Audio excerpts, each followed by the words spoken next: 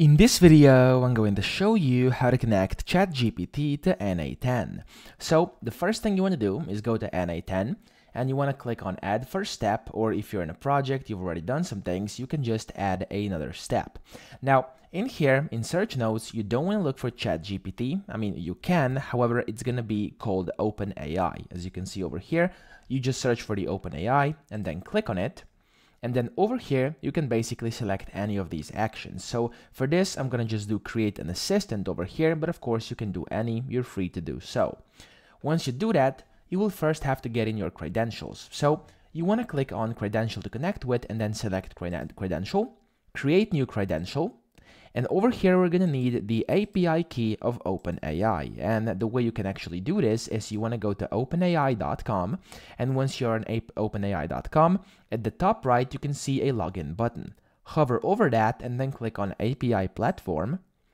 And then you will just have to log in with your OpenAI account. And once you do this, you'll see this website. On here, you want to click on API reference, top right over here. And once you're an API reference, you just want to go here where it says authentication, and then it says you can create, manage, and learn more about API keys in your organization settings. Click on organization settings, and this link will take you over here. Now in here, we can actually create our API key. So click on create new secret key. You can give it a name over here. So we're just going to do test and then you can select a project. I'm just going to do default. And over here, you can do permissions, all restricted or read only. So that's totally up to you what you want to do. And then click on create secret key. After you click this, as you can see, you'll see your secret key over here. What you have to then do is simply click on copy. And then you want to do done.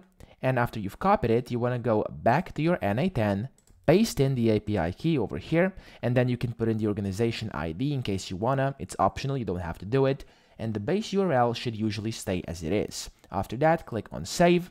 It's going to start testing. There we go, as you can see, credentials successfully created in test project. And after you've done this, as you can see, we've successfully connected ChatGPT or OpenAI to n8n. So that's pretty much it. I hope this video helped you out. If it did, please subscribe to the channel and help me out as well.